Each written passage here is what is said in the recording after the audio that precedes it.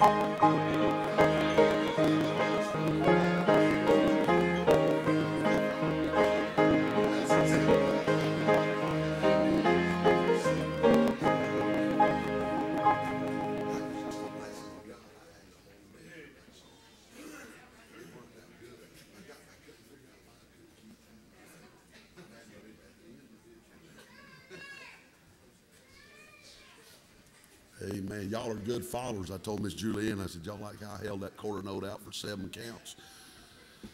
She said, she said, Miss Cheryl said, we're good followers. Amen. Praise God. Well, I'm glad we can hold to his unchanging hand. Let me make just a couple of announcements.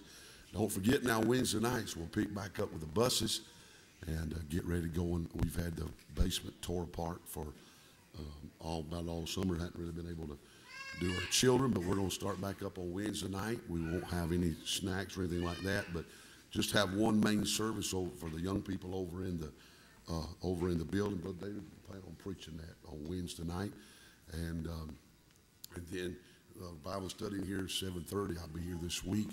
Be here pretty much the rest of September. I'll be out next week uh, um, up in uh, North Carolina, but I've canceled about four four meetings so I could be around the house and and be here and be with mom and dad to try to be around for them. So you pray for us these next weeks. Don't forget now, just it's just right around the corner. I know it's a little early, but just right around the corner. It's not but about five weeks of youth meeting, and I'm looking forward to that. God help us. And uh, so you be much in prayer about that. And uh, don't forget now Wednesday night, 7:30, 7:30 Bible study, and then we'll uh, be a regular schedule next Sunday. That next Sunday is the fifth Sunday, and uh, we've we've had our projects just sort of us, no visitors tonight, and we need to raise raise the money. We I, I know the the ceiling cost us about sixty one hundred dollars, and I believe we got the money in hand to pay that. And the carpet and the paint is going to be probably somewhere between eight and nine thousand dollars uh, somewhere in the vicinity of that. And uh, we like to try to put some money as well on the principal of the note. So we need to be a blessing if we could. We normally take somewhere up on our fifth Sunday offering somewhere around six to seven thousand dollars. But boy, it'd be a real blessing if some of us pray and let God let us give a little extra this time. I know it's. I mean, I, listen, it's the end of the summer. Everybody's been on vacation. We're all broke, and I understand that. But uh, boy, it'd be a real blessing to just take care of those bills and get that taken care of. The basement looks tremendous and uh, to God be the glory for that. And I, I, will be honest with you, I don't apologize for doing work at God's house. I mean, man, the, the house of God ought to be taken care of and well taken care of. And uh, I think it ought to be the nicest place in town. Amen. Cleanest place, neatest place. And uh, so I'm excited about how things look downstairs, and that's a real blessing. And uh, the carpet up here is done well, and we got I got some things in mind next year, and uh, these these pews need to be recovered. And, um, and I think it'd be a blessing. Maybe next year, one of our projects be to recover and put some new padding in them pews. Because the older I get, the longer I'm going to preach. Amen. Amen. I'm going to have more to say the older I get. Amen. Somebody thinking, oh, heavens to. I'm just playing. I tell you what, y'all are, y'all are lucky tonight after choir practice. I don't know if I'm going to have enough wind to preach. Amen. Don't say, that's a number four night, brother. oh me, but I, but uh, pray about what the Lord have you do. I, let's be a real blessing to receive these a good offer next month Sunday, and just pay all the bill, be taken care of. And I appreciate you giving. I thank the Lord for it. So don't forget about that regular Wednesday night, fifth Sunday next week. Don't forget in the Sunday school hour, everything you take up goes, and the fifth Sunday goes to the cemetery. And we're at the end of the cutting year. And uh, praise the Lord, we've had the Lord supply the needs to pay that. And uh, so we'll, we'll, everything you give during the Sunday school hour go toward the cemetery fund and all that's going right there. All right, don't forget we've got several sick folk. Continue to pray for Miss Eulene Couch. Miss Jean's fallen, been in and out of the hospital the last time, so let's pray. We're going to try to get by and see her this week. So let's continue to pray for her as she cares for Brother Gene. Also, I've got word since I've been home, Miss Clarnell's not doing well. I need to pray for Miss Clarnell Wilson. Also, I believe uh, Brother Sean shared with me this morning, maybe Miss Lou might have had some mini strokes, and and uh, so we need to pray for her. Continue to pray for Brother Roger. He's battling. Uh, they're trying to get his thyroid and all regulated, so we need to pray God touch him. We love Brother Roger. We want him to feel good. We want him to feel better and strong. So let's pray God touch him. And always, Brother Albert, Miss Imogene, let's pray for them. God help them and touch them. Pray for the Wilson family. We got to get to know them. They're one of our missionaries who we spent some time with, a precious family, and I thank the Lord for our time with them. So let's pray for them. Remember these requests. And uh, I tell you what, let's put the bucket out. Ronnie, help me with the baker bucket. And uh, Nicholas, come help me, son. You give me a plate. Yeah, got a plate. Walk back there, Nicholas, that plate in that back window back there. You sit right up before you bring it up here, put it, put it right here. I like it. Old Nicholas got saved on the front row. I like it. Praise God. Amen. Him and Daddy both. Amen. There's one right there. Right to give it to him. Amen. Old Christopher come up and me this morning, said, Preacher, when's you going to baptize me? Praise God. So we'll be, I hope maybe just in a couple of weeks we'll get that set up. Maybe. Um, I tell you what, Brother Dave, let's just plan on doing that. First weekend's Labor Day weekend. That might be okay.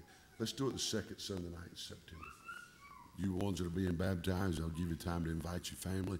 Second Sunday night in September, we'll baptize and get these kids baptized and folks baptized that need to be baptized. All right? All right, Miss Julianne's going to play. You come bring your faith promise mission offer to the front. Courtney, you come get ready to sing for prayer.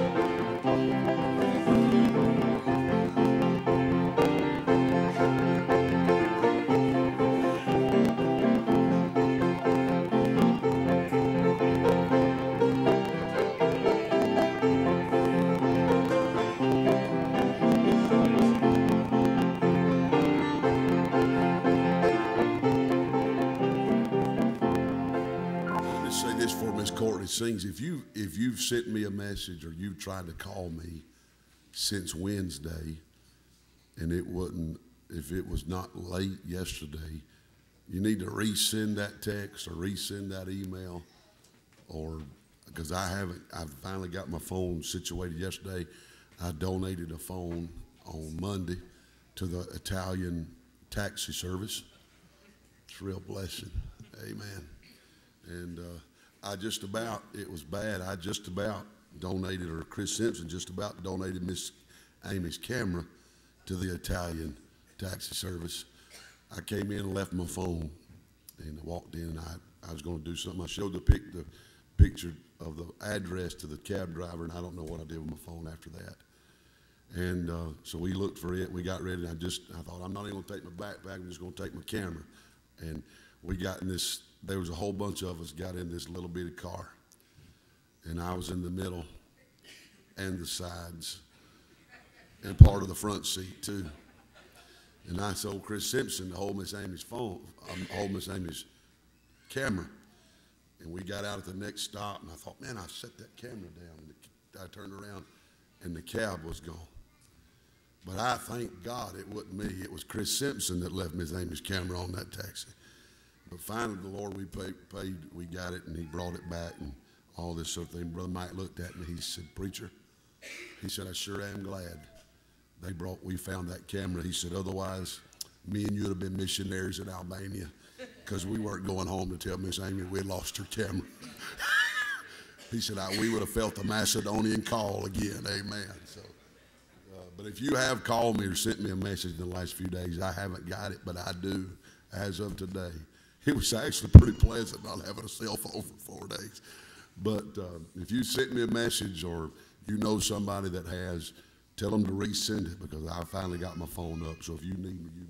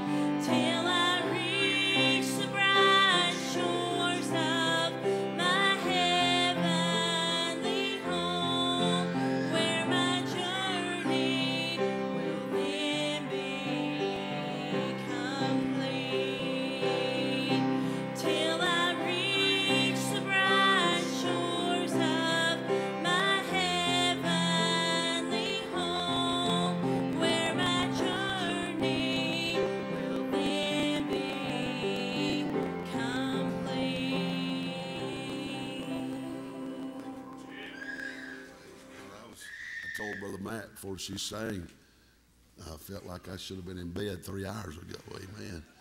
But I'm feeling better now. Amen. First Corinthians chapter number four. First Corinthians in chapter number four.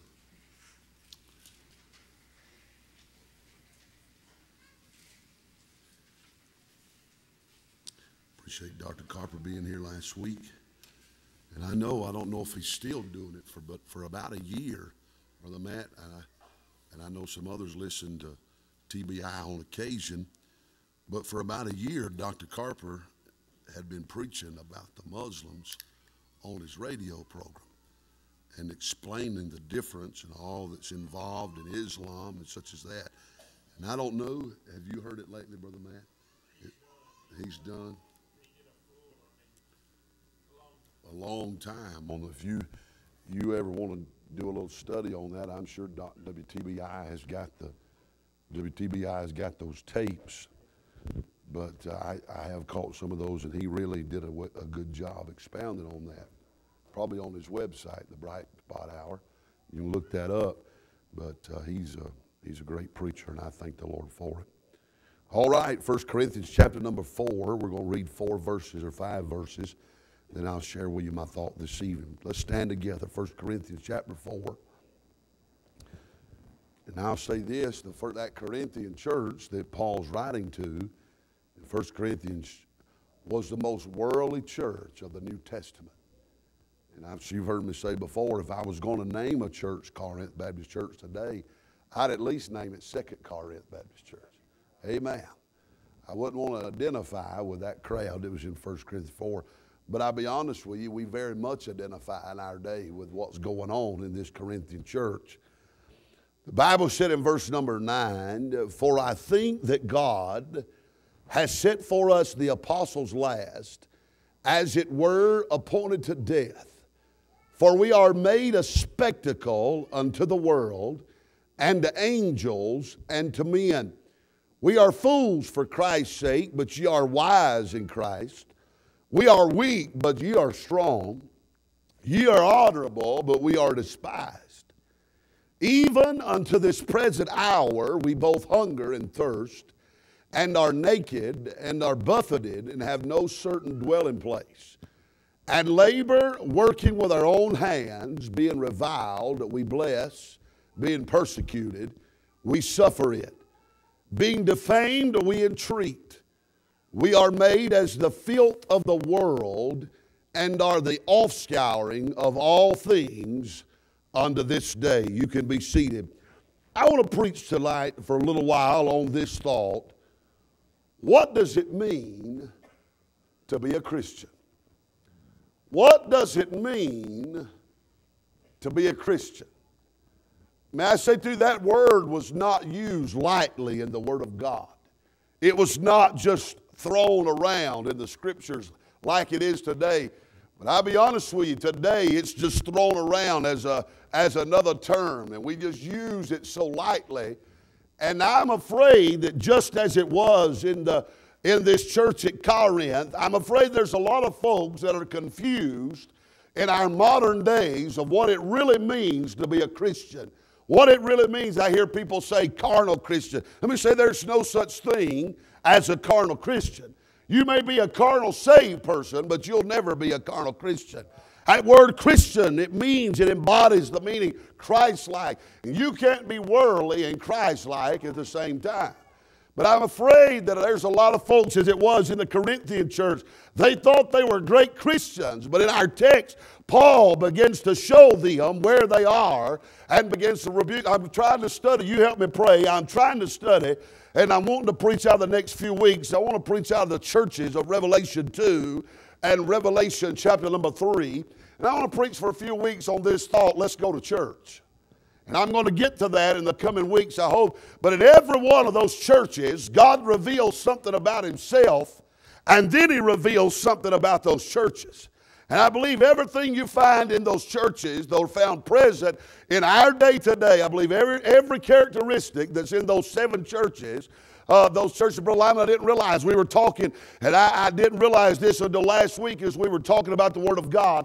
Those churches are all within a 35 mile radius together uh, there in that place. But may I say to you, I think a lot of those, those churches in Revelation 7 we're a little bit, uh, Revelation 2 and 3, we're a little bit confused on where they were and how they really measured up. And may I say to you, I think there's more than just a few. May I say, most of us are really, con- I, I, I don't think understand the gravity of what it is to be called a Christian in this day. Amen. Difference between a saved person and a Christian. And I think the reality, we need to understand the reality of our Christian heritage is that many of our forefathers that went before us sealed their testimony by paying the ultimate cost. They sealed their faith with their blood. Many church leaders died as a martyr for their Christian faith. Probably, I may I say to those Jackson and, and, and Cooper and Brother Ben and Brother Colby, probably the thing that stirred me the most while we were gone is when we were standing in the very places where the people of God in ages gone by spilled their blood for what they believed. We stood in the town of Durres, Albania, Durres, Albania, the first place we stopped like this. And we walked into a coliseum that had been halfway unearthed. They had found it sometime and that would have been the place that, that history says that Titus would have been uh, martyred for the cause of Christ. He sent him over there to those barbarians according to the word of God. And uh, Brother David, he lost his life, and we stood in the very middle of that coliseum and looked around. And uh, I thought, man, I'd like to shout because of, uh, I mean, I wanted to lift my hands and praise God for the testimony of Titus and how he shed his blood on those very grounds.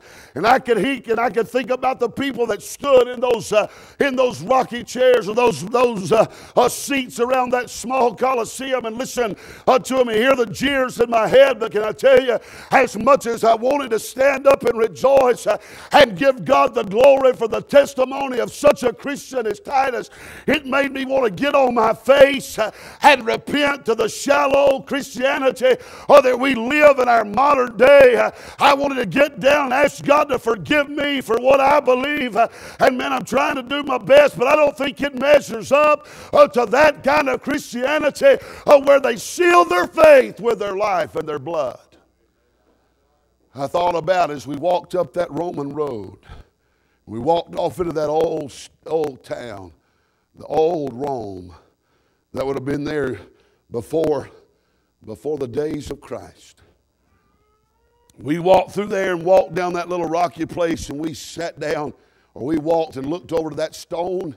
It was almost like a stone cave. And I wanted to rejoice that there in that little place, that the word, that the very word of God that we read today was pinned down. The book of Second Timothy was penned in that Mamertine prison. As we walked down that cobblestone road, that large cobblestone road, that would have been known as the Roman road. I wanted to give God the glory that I was walking the footsteps where the Apostle Paul had trod. Man, when we went to Israel, I, I wanted to shout the victory that I could have been walking. I mean, I remember walking into the Garden of Gethsemane, and I remember touching one of them olive trees, and I wondered, I wonder maybe as he walked through there, did he lay his hand on that tree? And I remembered the glory that I, I mean, man, I thought the Apostle Paul the greatest Christian, the greatest preacher since oh, the Lord Jesus himself. And as we walked down that Roman road, I thought, man, I want to give God the glory. But then I thought again, as I did in that Colosseum in Durres, I thought, my goodness, uh, how weak we are. We bellyache and complain uh, oh, because our feelings get hurt. And then we get somebody gets crossways with us, or we complain about things that have no eternal bearing. And I thought, dear God, I need to get down on my face on this cobblestone road. Uh, had to ask God to forgive me for my shallow uh, commitment in my Christian life. But I would say the things that moved me the most on our trip was when I stood in those places, Brother David, where the martyrs had shed their blood.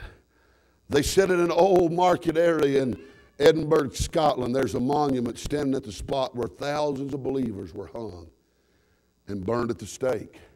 And they said just a few hundred feet away from that, on the grounds of Greyfriar Kirk, is another marker erected in honor of the thousands who died for their faith in Scotland.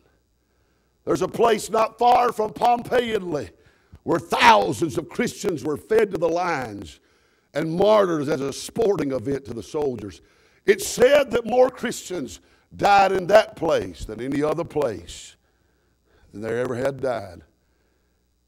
And I tell you, as I stood in those places, the, the reality it brought home to me the reality of the faith that I now enjoy and what great a price it was purchased of, not only by Christ, by people that went others.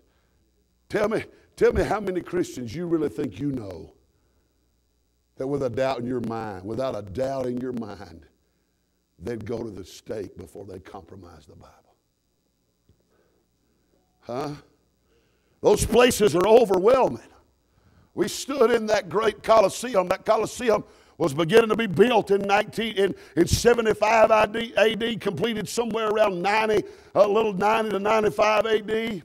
And Paul would have been some of the first to lose their life in that Colosseum.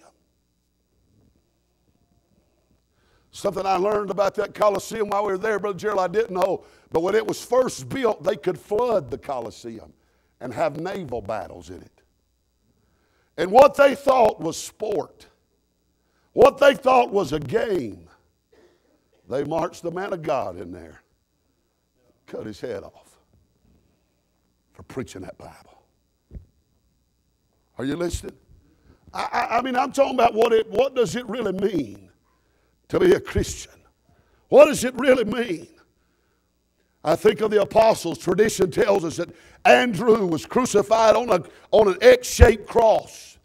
They said they threw James from the pinnacle of the temple and they found him alive. And when they found him alive, they beat him with clubs till he died. Peter was crucified upside down. Philip was severely whipped and scourged and then hanged by a neck against a pillar. Thomas was martyred by a lance being thrust through his body while he was praying. And then they cut the Apostle Paul's head off. You still want to be a Christian? Amen. I mean, man, this modern day feel good, Joel Osteen, self propped up, amen, Christianity. But man, I'll tell you something, our ranks are none the better. I mean, it takes 25 people, one young and sick, and their family and their first cousins have got to come home and stay home out of the house of God to take care of one child. Amen. I'm afraid it ain't going to be a number four, Brother Sean. Amen. I mean, God help us.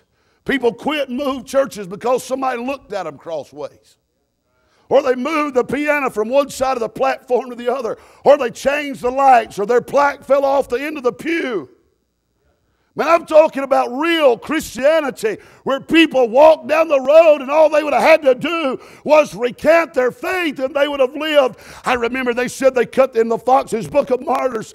Uh, they were, the one man was proclaiming the Word of God and they cut his arm off because he wouldn't stop. And they said they took his bloody, bloody limb that was left and beat his chest while they burned him to death. I'm talking about genuine Christianity. Amen. I think it's interesting that as you look at the text in verse 9, look at what he said. Paul said, I think that God has set us for us, the apostles last, as it were that we appointed to death. I believe the apostle Paul and the apostles realized that their faith was probably, probably brought on them a death sentence for what they believed. And I tell you something, in their day and time, it wasn't popular to be a Christian. They didn't just get made fun of in the market, or they didn't just get made fun of on the news, and they just didn't get mocked and made fun of. I mean, I, I think I was with Brother, Brother Wilson in that little town of Mercy. We, I think we ran up on a Greek Orthodox, and we ran up on somebody, and he wanted to mock a little bit. We told him we were Baptist preachers. And he wanted to mock a little bit, and I couldn't understand all that he was saying, but he would he'd say a little something and poke his buddy, and they'd laugh. Amen. I mean, preachers leave churches because somebody gets to where they don't like them a little bit. But we're supposed to believe that we're going to seal our testimony in our blood, and we can't even get past somebody not liking us. I mean, we come to church and we can't worship the God of heaven that's redeemed us and purchased us with his blood uh, because somebody said something cross to me. Somebody tell me, is there a real Christian left?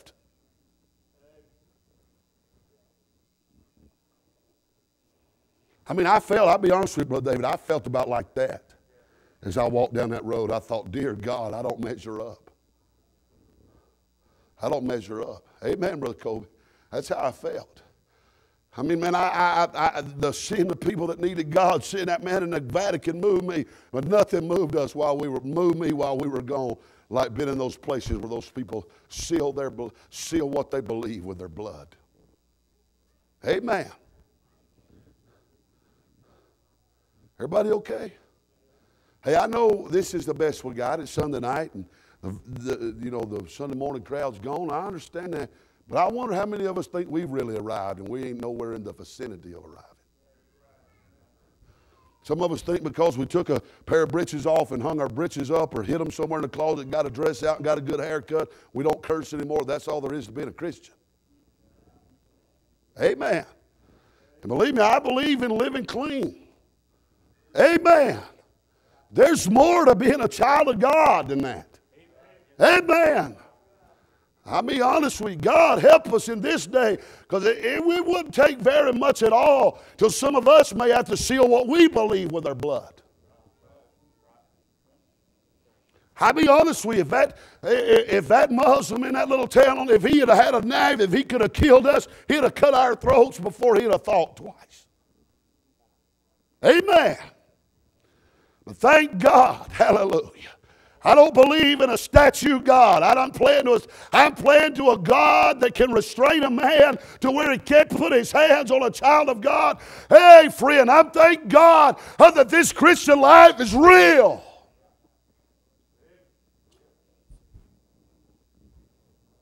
What it takes to be a. What does it mean to be a real Christian? The Apostle Paul begins to look at the church at Corinth. These Corinthian believers they thought they had arrived and they considered themselves wise and they thought Paul was a fool. The Corinthian believers believed themselves strong and they were weak. Paul was weak. And it, it's obvious in our text that there was a great divide in what they thought was a Christian and what Paul thought was a Christian. And I'll be honest with you, and I believe in our modern day churches, there's a great divide on what we think is a Christian and what really is a child of God. Amen. Amen. I'm not belittling our burdens because I understand we all have burdens. But we sure do sometimes want to quit and have a bad attitude and a bad spirit over stuff that absolutely doesn't matter. Amen. Our problem is we get our eyes on one another when our eyes ought to be on the Lord. It's hard to get a bad spirit with your eyes on God. Amen. It's hard to get a critical attitude when you're looking at the Lord because when you're really looking at Him, you really see, you really feel how inadequate we are, how small I am, how insignificant I am when I've got my eyes where it ought to be. But when I begin to compare, I never do find somebody better than me to compare myself to.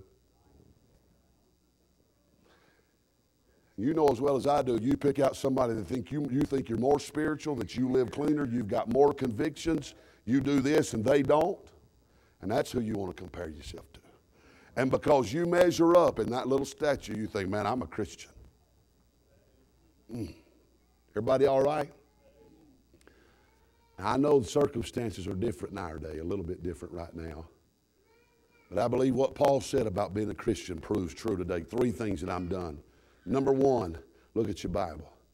Look at verse number nine. For I think that God set forth us, the apostles last, as it were appointed unto death, for we are made a spectacle. Let me just hold up. Let me just say this right here.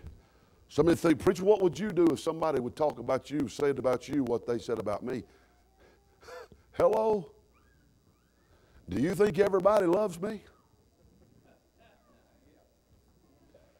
I could take you to five preachers right now that won't shake my hand that don't even know me. Amen.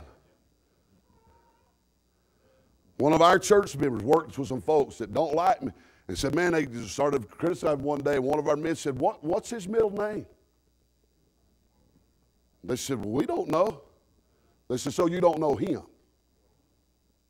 Amen. Let me tell you something words hurt, yes, but words are no reason to quit. Amen. Amen. I mean, God help us, man. If we were looking to, listen, we, we need to quit looking to get out and looking for reasons to stay in. Amen. Sure, you said, does it not hurt? Sure, it hurts. But can I tell you this? It ain't the ones out, hurt, out there that say things that hurt you, it's the ones that are in here. Hello? When you don't understand, when you don't give me the benefit of the doubt, that's the ones I stay up with. Those folks that I don't know, and can I just be honest with you, probably don't care to know. Amen. They don't bother me. Everybody okay? Let's just take let's take our suit coats off and let's get down to where the rubber meets the road tonight. Amen. You say, what, what would you do if somebody speak? You get up in the morning, you put your breeches on, you put your suit on, you put your tie on, and you go after it again because the God of heaven is worth our faithfulness. He's worth me having a good spirit. What if I walk out of the house with a bad spirit and the first person I come to is a lost person that needs God and they see me in a foul spirit? You think they want to get saved? No. Amen. You say, Life's dealt me a bad blow. Grunt, listen, join the crowd.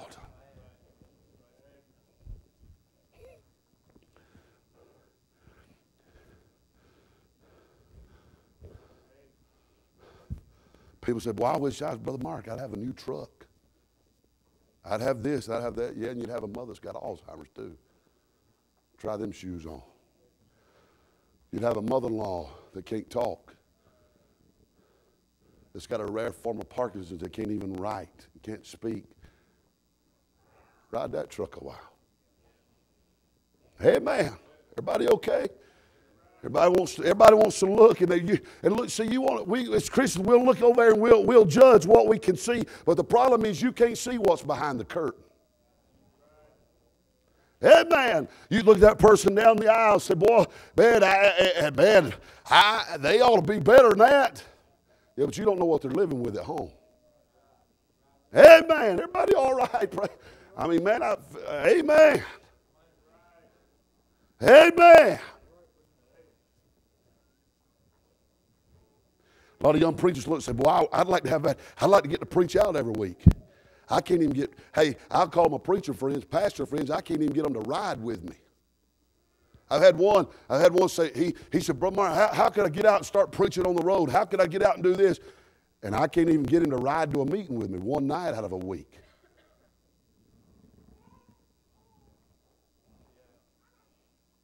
Am I wrong? He said, Man, I want to preach some meetings. How do I do that? Like I, I've got, I don't have a formula for that. I didn't write the formula. God started ringing the phone. I want to go. I want to go. Do you really? Man told Brother Mark, I want to pick a guitar like you. And I remember him, I'll never forget what he told him. He said, Do you really? He said, How many guitars you wore a hole in because you want to practice that long? Everybody all right? I'm telling about what it takes. What, what does it mean to be a Christian in our day? I tell you, it means the same thing it did in that day. Amen. We ought to reach down and get your bootstraps and pull them up. I saw something in Europe that I'm, I'm, I'm tore up about. All you Carhartt boys, they make Carhartt skinny jeans in Europe. It's a God-forsaken abomination. I used to be for Carhartts, but Carhartt compromised and made a pair of stinking skinny jeans. God help us. Amen. I don't know what that has to do with anything, but it just hit me just right there. I don't have any idea. I lost my train of thought right there. God help us. How wrong it was. Amen. I'm against some things. Amen. What does it mean to be a Christian? What I thought, I know. Don't put your those skinny jeans. Put your big boy breeches on. Amen. I don't wear them knickers anymore. Miss Amy used to like them smocking, those little outfits on the boys that had them smocking on them. And they're cute as a button. And they wear them little, them little outfits that had them little knicker breeches. Let me just say they don't make knickers for many kilograms.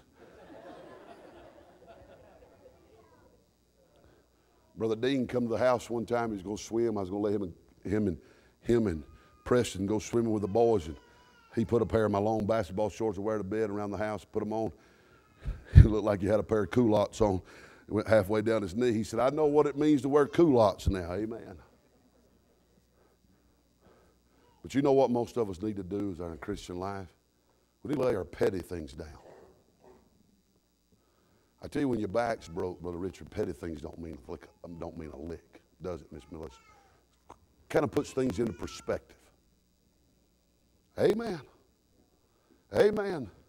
And can I be honest with you? Most of the things we stay tore up about in our Christian life are petty. Amen. Petty. Most of the things that steal our joy are not great storms. Brother Roger, let me say publicly to you, I appreciate how you face what you've gone through. I've not heard you complain. I've not heard him complain. Let's just be honest, it's been over eight months since he felt good. Am I, am I right, Miss Pat? Would you agree with me? It's been over eight months since he felt good, but I've not heard him complain.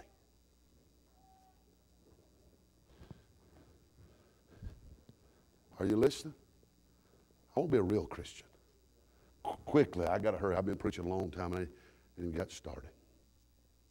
What is bitter? Look what the Bible said in verse 9. He said, For we are made a spectacle unto the world and to angels and to men. That word spectacle was used as a describe what was known as a Roman triumph.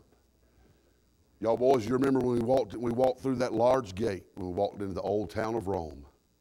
That's where the Roman generals would have rode their horses after they'd gone and won a battle.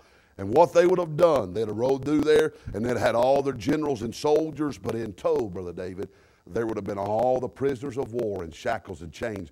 And they would have led them down that Roman road and mocked them while they ran down there, while they walked down through there. That's a spectacle. That's what comes in that word. That word carries an ideal of being a public spectacle. It's the word we get our word theater from, which means a public viewing. Paul was telling the Christians at Corinth that this thing of the Christian life is a public matter. Can I say, first of all, what it means to be a Christian? The Christian life is observed by the world. It's observed by the world. Notice verse 9. Look at your Bible. For I think that God has set for us the apostles' last, and it was we're appointed unto death, for we are made a spectacle unto the world, and to angels, and to men. Can I say, first of all, there's a human observation. We're being watched by those around us. Whether you realize it or not, we're being watched by those around us. When we come in contact with at the grocery store, at our family, in our, in our family reunions, wherever we go, people, they're observing our Christian. People, you ask people, say, Are you saved? They say, Well, that's a private matter. And I understand what they're saying about it. It's a pri- it is a, a personal matter. It's a per- but listen, we, we've got to never forget that our Christian life, this walk that God's put us in, it is not just a private matter, it's a public matter. It's a public matter. And people around us, they watch how we live. They listen to the way we talk. They observe how we act and how we react. When you profess to be a Christian, whether you like it or not, you become a spectacle to the world. And you better believe this you live in a glass house. And you preachers, listen to me. I want to be honest with you as I can. The downside of the ministry is that you live in a fishbowl and everybody can see. And the problem is, they're going to judge your family in ways they won't even judge their, their own family. I'm not down on the ministry. I'd do it again in a heartbeat. Listen, I'm not complaining, but that's the reality in which we live. Amen. Amen. It's a public matter. And I'll say again, fellas, you better be careful because you'll do more damage outside of here to your ministry than you'll ever do in here. Amen. It's a, it's a, it's a Christian life is observed.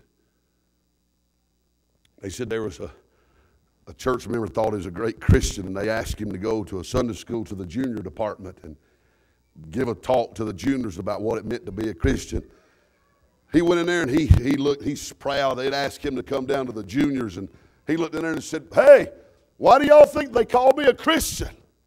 This little boy raised his hand. He said, Yes, sir, son. He said, Because they don't know you.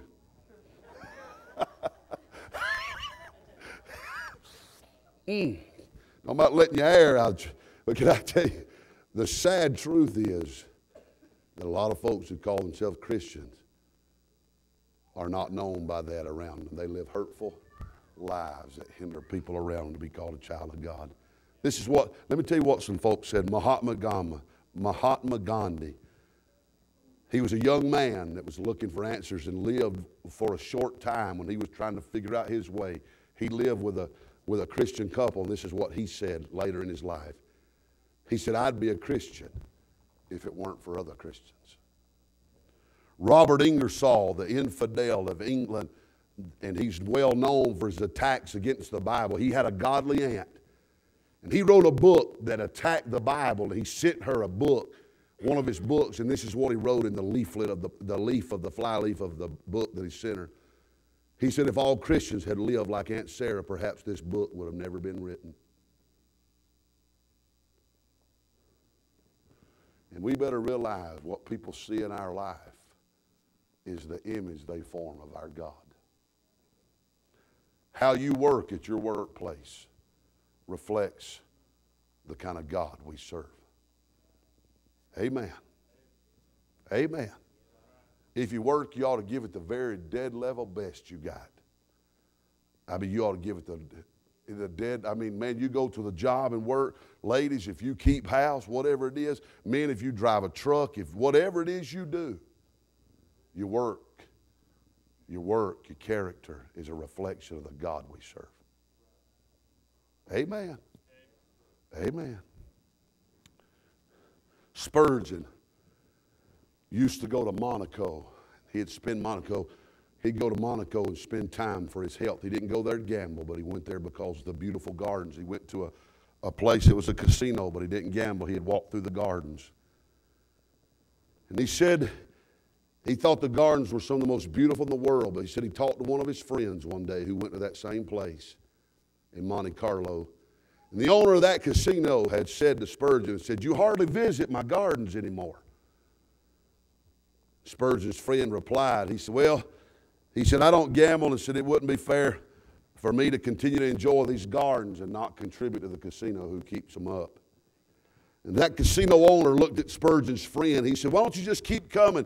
He said, he said, man, he said, if you quit coming, I'm going to lose customers. And he said, if you quit visiting these gardens, said, there's many people who don't gamble in the casino who feel quite comfortable in the gardens. He said, but then from the gardens, it's just a short walk to the gambling table. He said, you see, when you visit my gardens, respectable people that, uh, respectable people like you, you attract others who eventually become my gambling customers. Spurgeon said when he heard that statement, he never went back to the gardens again. William Carey, the father of modern missions, was brought to Christ because of an influence of a person that was with him, worked with him. This is what Carey said about his friend. He said, My friend couldn't answer my questions, but I couldn't answer his life. In other words, he didn't have all the doctrine figured out. He couldn't answer all my questions about God. He couldn't answer all my questions about the Bible. He said he didn't have the answers for my questions, but I didn't have an answer for his life. Are you listening? There's a, there's a human observation when it comes to be a Christian. Look at verse 9. He said we're made a spectacle unto the world and to angels. Not only is there a human observation, there's a heavenly observation. He said we're observed by angels. And you better believe we the Bible said we're encamped by angels. We're encamped around. And we live in a time where it's easy to fall and it's easy to fail. And I think God put some angels in our life as resources to keep us from falling. Amen. John Paton, a missionary in the New Hebrides Islands, the hostiles, I mean, it was terrible, terrible times. The natives were going to burn them out and kill them. And they said they came to the house, and John Paton and his wife were inside the house praying for God's protection. And for some reason, they didn't attack. And about a year later, the chief came to see John Paton. And Paton asked him, he said, Why, why didn't you attack, attack us a year ago? And the chief asked John Paton, he said, Who were all those men that were with you? Paton says, Sir, it was only me and my wife. And the chief insisted. He said, There were hundreds of men around your shack in bright shining clothes, holding drawn swords and standing in a circle around the mission station. You say, I've heard that before. Praise God. I'm glad it didn't just happen once. Amen. Glory to God. Hey, listen, there's not only a human observation, but according to the Word of God, we've been a spectacle unto angels, and God's put them in our life to keep us from falling. Christian life is to be observed by the world. Number two, and I'm hurrying. The Christian life is to be opposite of the world. Look at verse 11. The Bible said, even at this present hour, we both hunger and thirst and are naked or buffeted, and have no certain dwelling place, and labor, working with our own hands, being reviled, we bless, being persecuted, we suffer it. Vance Havner said the church has become so worldly, the world's so churches, you can't tell them apart. Amen. Everybody wants to talk about contemporary. You say, why don't you like contemporary music? It mimics the world. It mimics the world. That ought to be enough.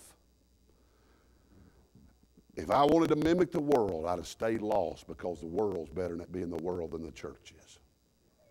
Amen. Amen, friend. It ought to be opposite the world. When you talk about being a Christian, you talk about living a life that's opposite of the world. When the Bible speaks of the world, it's talking about that system that's going in the opposite direction of God. Notice what verse 11, we see the conditions of Paul's life. He said, We hunger and thirst and are naked and are buffeted, have no certain dwelling place. That's where he was living. And Paul was describing, he said, It's not been easy for us to be a Christian. There's many hardships. It's brought on much suffering. It's a whole lot different than the Christianity we hear preached today. You say, why aren't people having hardship? Why, why are some of these people, could it be they're not, they're not going in an opposite direction? It's hard to swim upstream, friend. It's hard to swim upstream. You say, why? Why is everybody having it so good? Man, I'm battling this. Hey, that's the life that the Word of God said is a real Christian. We suffer, we're naked, we're hungry. We see the conditions of his life. Notice verse 12. I want you to notice the conduct of his life. Now here's where we here's where we all can learn, including me. The Bible said labor working with our own hands. Listen to me. Here we go. Being reviled, we bless. Being persecuted, we suffer it. Being defamed, we entreat. Not only did he talk about the conditions of how he was living, he talked about the conduct of how he was living. He talked about how he reacted to the mistreatment of others. The word revile means to speak evil against. How's the world respond to being spoke, spoke evil against? Well, in our day, they sue you. Fellas, let me tell you something. You might as well buckle her down if you're going to have any kind of public ministry.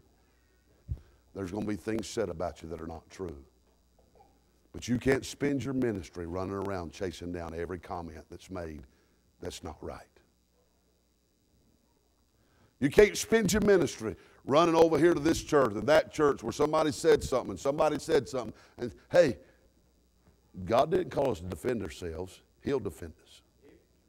And I'll be honest with you, that's hard. That's hard. There's times that, that things have been said that have put me in a negative light in the ministry, and, and it had nothing to do, but they were trying to prop somebody else up and trying to promote somebody else, and they had to tear me. And listen, I don't, amen. And I mean, I've done my best to stay clean and try to keep good character and have a good name. That Bible said a good, good name's better than riches. And I wanted to go over there. I'll be honest with you, I wanted to go hands. Somebody said, don't lay hands on any man suddenly. I wasn't planning on doing it suddenly. I was planning on doing it often. Amen. And I'm not, hey, Brother Kobe, I don't, I don't want to preach as though I've arrived because I always can't do it. I get upset still about certain things. But Paul said, when I'm, we're reviled, we bless. You know what rings in my ears, Brother Howard? It's not the message from a preacher, it's the message from a soft spoken mother. She used to say, Son, you're just going to have to kill them with kindness. I mean, I, Brother Lyman, if I had a nickel for every time my mother told me that, son, you're just going to have to kill them with kindness. Just be kind. Just be kind. Just be kind. What are they going to do? Criticize you for being too nice? Huh? Amen. My flesh wants to defend myself. My flesh wants to come up and light into them. But the, Paul said, when we revile, we bless.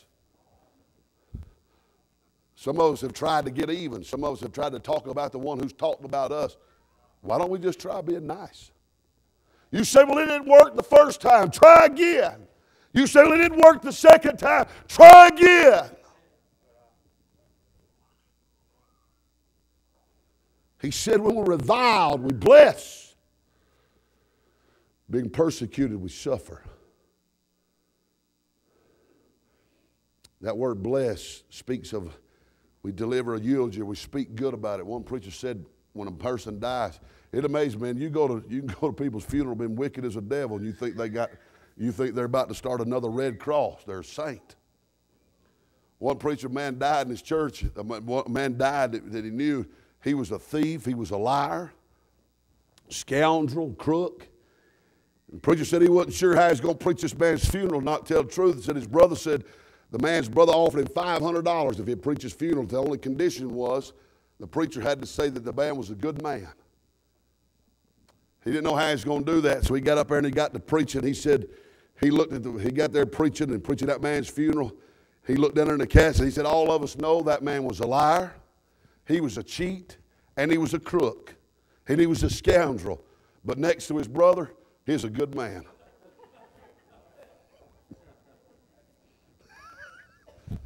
Got his $500. Amen.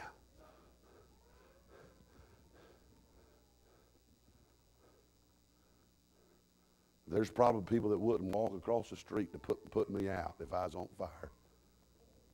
But what Paul said was, he said, when we're reviled, we ought to bless them. Can I tell you something right there? And help me now, and I struggle. I'm not good at that. But can I tell you what Paul said that was? Paul said that's what being a Christian was. I don't know about you. Maybe you got, you know, maybe you walk on the streets of gold. You don't have, you don't have fallen flesh, but I do, and I struggle right there. Amen. He said we see the conduct of his life. The conduct. He was a Christian. He wasn't of this world. And our action and reaction of a Christian ought to be opposite of that which the world is. And as a Christian, your behavior is a reflection of the Lord Jesus. Christian is a Christian life is to be observed of the world. Christian life is to be opposite of the world. Now look at your Bible. Look at verse 13. I'm done. Come on, Miss Julianne. It'll make them feel better. I'm going to let you play. I shouldn't have let Miss Courtney sing. She got to making me feel better. Notice what the Bible said in verse 13. I'm done. It said, We're made as filth of the world, the offscouring of all things unto this day. That word filth and offscouring there is a synonym which refers to the scrapings or what's left in a dirty dish or a pot. He said that's what we are to the world. Can I tell you something? The Christian life is not only to be observed by the world, it's not only to be, it's not only to be opposite of the world, but can I tell you this? A Christian life is really offensive to the world. If we're going to be a real Christian in the world, hey, listen to me. It should be no surprise to us. Listen to me. There never has been, there's not now, and there never will be a love affair between the world and the Christian. Never. We, we think it's hard today. We think we're living in hard times. For we, man, what would what would it been if we'd have been living in 55 and 60, 65 and 70, and 75 and 80 AD, where Christians were killed for what they believe? And I just be honest with you, America is one of the only places today that Christians aren't being killed for what they believe. And let's just be honest, Baptist folk were getting killed by the Catholics. They're getting killed from both sides. We've even been hated worse than that. Amen. The Catholics were killing us and the reformers were killing us. Amen.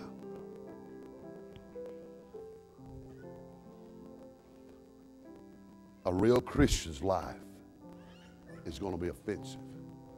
Our morals are offensive.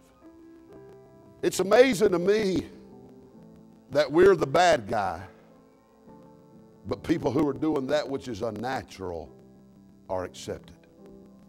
Less than 10% probably of Americans are living an alternative lifestyle. And nothing can be said to them, but you let a Christian stand up for what they believe, and it offends the whole world. Why? Because our morals are offensive to the world. You know what bothers this world? What bothers the world is our message. We say there's only one way to heaven. There's only one way. Our morals, the way we live. It was amazing, Brother David, at camp. We took our young ladies, you know, they never did say anything about the boys. We took the boys the first day, they played in their, they played in their long pants.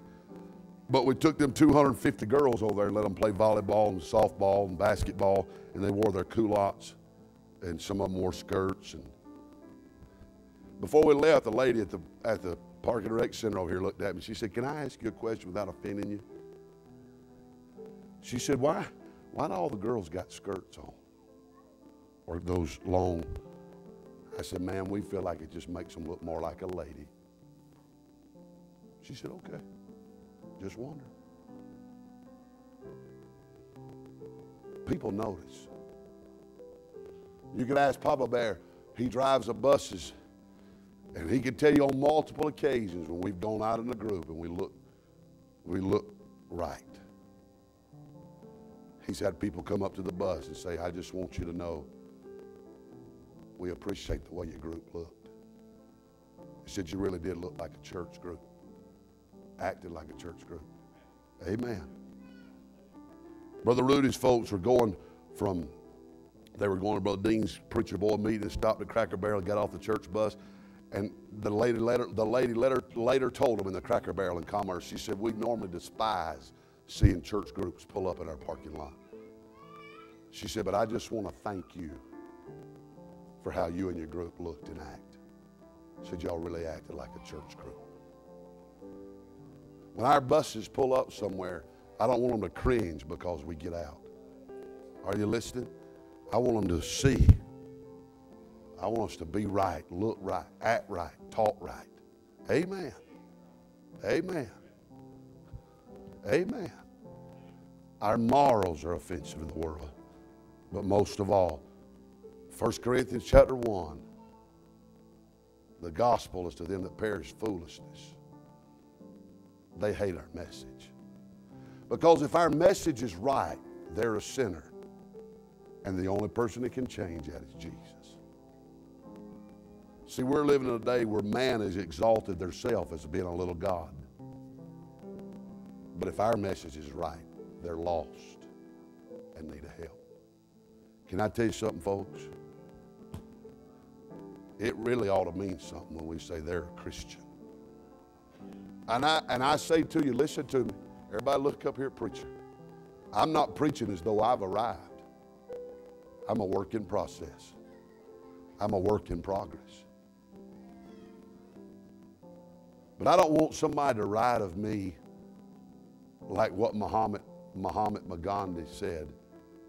I'd be a Christian if it weren't for other Christians. I'd want to live a life that my boys, if they ever did go, if said if, if said if everybody was like my mom and daddy, I'd have never went this way. Can I tell you this right here? Everybody listen to me. I don't want to be some sinner's excuse for going to hell. Straight up. I don't want some sinner to look at me at the great white throne judgment and said, I would have went to heaven. I'd have got saved if he had really been what he said he was.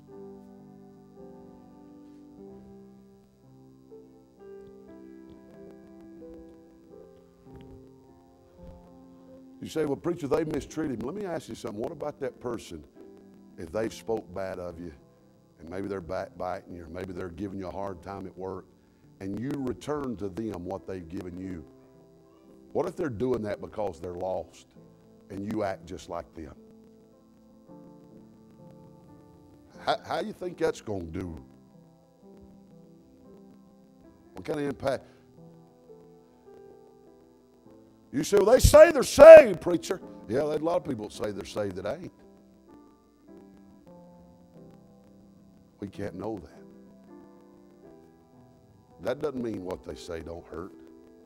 I, I wish, I wish that I could tell you I've arrived at the place where I hear some, what somebody says about me that I can just go on and I never give it a second thought. I'm not there yet. Y'all pray for me, but I'm not there yet. But I think my wife that knows me as intimately, more intimate than my own parents, would stand up and testify that there's a whole lot less that doesn't bother me that does bother me.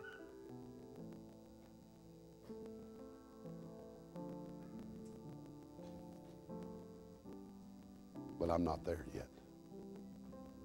I wish I could say somebody could look at me and say what they wanted to, and my flesh wouldn't rise up.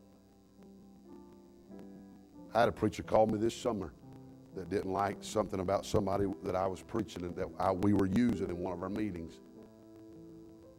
And just absolutely ripped me up one side and down the other. I've never seen this man, he's never seen me.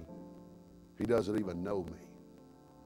But he didn't like something about one of our meetings. And I'll be honest with you, Brother Lyman, I believe the Lord let that phone call happen just to show me how strong my flesh really was. Because that man literally threatened me on the telephone. And before I knew it, the hair was standing up on my arms. And it was a, it was a good thing it was a telephone call. Because I'm just going to be honest with you. And y'all pray for me. I'm just honest. I, I don't I don't put no clothes on. I'm just real with you about what I am. I'm not trying to play no games. I'm not proud of what I'm telling you. I'm just telling you, the Lord let me see really how strong my flesh still really was. Had that man been in front of me, I couldn't tell you that I could have I could have contained myself. I was that angry. And it wasn't righteous indignation. It may have started as righteous indignation, but it took an exit, and I went straight to the flesh. But you know what I found out what God reminded me of? Is just how strong my flesh really was. And I sat down on my boys' basketball court and I squalled because of the way I reacted. And I didn't even know who the man was. And I pushed read out on my telephone. And I said, Sir, I didn't appreciate what you said and I think you were out of line. I said, but I was wrong. And I'm sorry for how I reacted. And I said, what you said gives me no right to react like I did. I didn't curse him. I didn't say ugly words to him. But I was angry. I mean, I'm talking about red hot anger, unbridled anger. And I was under conviction about what I felt, not what I said. And you know, I just be honest with you, I had to swallow a lot of pride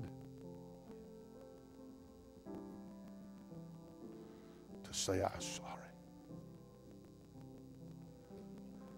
But it didn't take but just a minute for God to let me see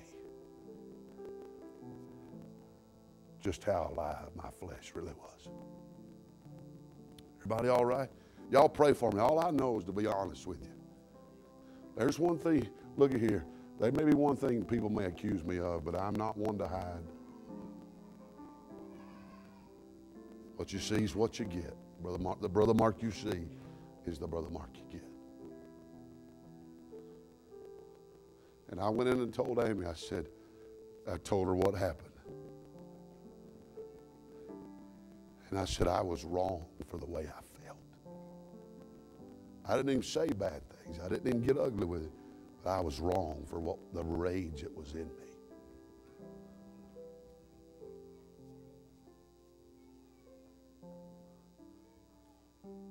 Brother Mays preached a message many years ago. Said, Can anybody find me a real Christian?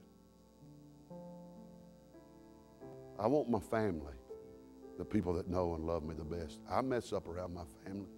I'm not perfect, Brother Ron. Y'all know that. I'm not perfect. But I want to be real. And if my family needs, needs somebody that thinks a Christian, I, I want to be one of the ones that comes to mind. If my community needs a Christian, it humbles me. Some of the coaches that coach Riley and Carter, they call me preacher. And I have to remember that sometimes when the umpire don't have a clue. And he'd have a better shot of flipping a quarter, getting the call right. I have to remember that sometimes because they know I'm a preacher. But more than that, they ought to know we're a Christian. What does it really mean? Being a Christian means our Christian life is observed by the world. It means that it's opposite of the world. And we need to understand that if we're ever going to be a real Christian, our life's going to be offensive to the world. And that don't mean that we set out to have a bad spirit. You don't have to be. I'll be honest, if, I, if I'm going to be offensive, I don't want it to be because I got a bad spirit. I want it to be because I'm trying to live right. So maybe you'd meet me in the altar tonight. Just say, Lord, I want to be a real Christian. I don't know, Brother Lyman, I'll never know if I got what if I've got in me what Paul had in him until I'm put to that test. But all I can do is try to do the best I can and hope if, if I ever get put in that place, that God's grace will be sufficient. Miss Pat, the reality is if I live a full life like you and Brother Roger have, that day may very well come. God help me to be a real Christian. Let's stand. Miss Julianne singing, You Mind the Lord. I hear the Savior say, Thy strength indeed is small. Child of weakness, watch and pray. Find in